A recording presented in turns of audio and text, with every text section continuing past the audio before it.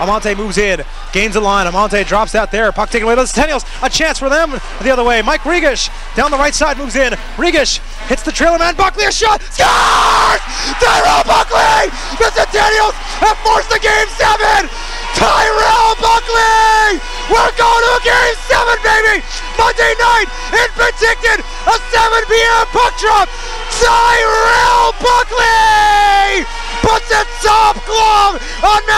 Robson. The Cents win! The Cents win! The Centennials win! Tyrell Buckley! 10 minutes and 23 seconds into overtime.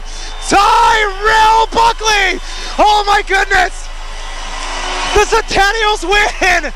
The Centennials win! Do you believe? Do you believe?